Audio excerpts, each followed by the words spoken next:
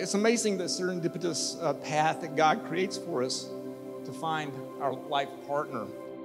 There's, you know, some whys in the road that occurred, and I'm confident one of those events happened during Courtney's time in middle school. I'd been away on a business trip and had come home, and to my dismay, there was an orange t shirt in our laundry room. It wasn't just orange, it was burnt orange.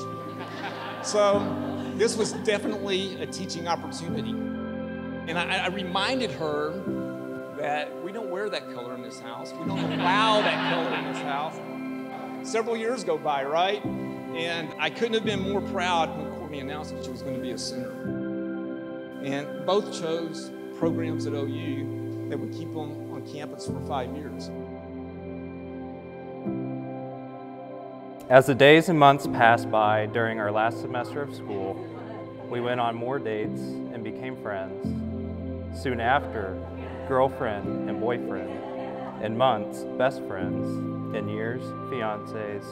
Now, husband and wife.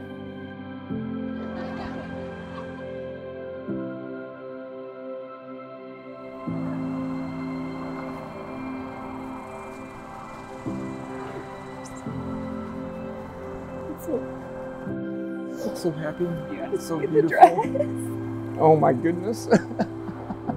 it's amazing.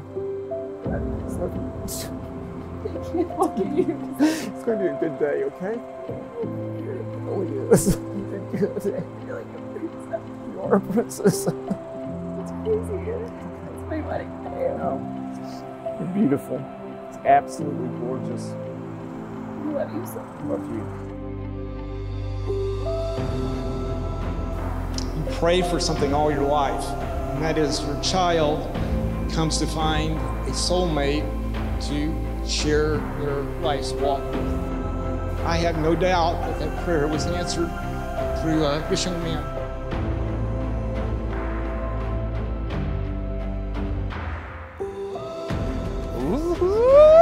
That's so Hello, I love you. You're so beautiful. Mm-hmm. You ready? Yeah.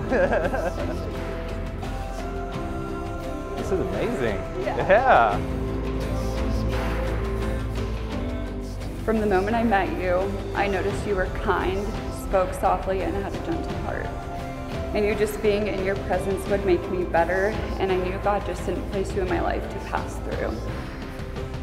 You're the strongest, smartest, most beautiful person I know. However, it's the person and soul on the inside, that which I first got a glimpse of that first day and came to know that makes it so easy to be myself, that inspires me, calms me, excites me, and is so easy to love. You are the most selfless person I've ever known. You treat strangers like a brother. You're able to see the good in everything, and you love others just like Jesus did. To know you is to love you. You will find me when you need me. I am watching you. Don't worry. You will find me when you call me. I am listening. This is a time of excitement and anticipation, a time of joy. It's a spiritual moment, and it's a time of holy commitment. You both have everything you need to be successful in this relationship. And I love the mission statement that you created for your families. It says this with servant hearts, our family will share with others and oneself the kindness and love bestowed to us by our Creator, so that we may leave this world better than we found it. With that mindset and the power of Christ, I have no doubt that you're going to spend many, many years in a healthy and happy relationship.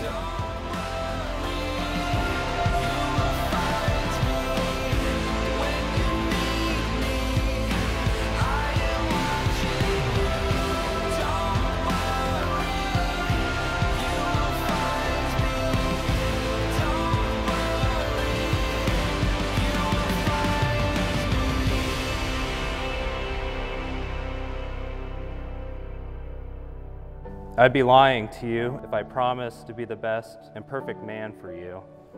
No one could be that. However, I promise that today and years to come, that all who I am will be with you by your side on your sickest and healthiest days, your worst and best days, and of course, on the days the Sooners win and lose. but we both know there won't be too many of those.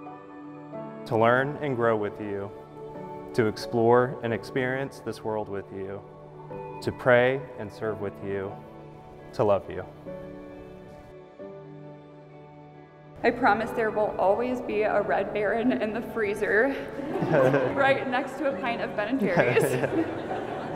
and I promise to cheer for the Sooners every Saturday with you and to respect your video game time with the boys. Mm. There we go. I solemnly vow to you today and for all of our days to cherish this love through all of life's adventures, listen to you and learn from you, support you, and finally on this day, break the lesson.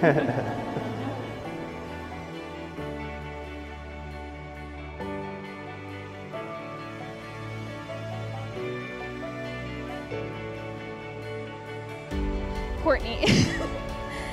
I could not be more thankful to have found the sister I never had in you. I feel so thankful that we have each other for more reasons than I can count, and I'm so happy to be standing by your side today. I think my best memory of Kincade is one night we were spending the night at a friend's house, and it just out of nowhere just started talking about dreams and aspirations. I remembered hearing how determined this guy was, how strong he was, and the things he wanted to do.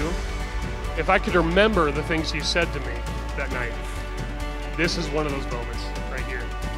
Getting to be with the woman that he loves. This is one of those moments that was part of those dreams and aspirations. It was by the authority vested in me, God and the great state of Texas, I have the privilege of pronouncing you husband and wife. Kincade, you may now kiss your bride.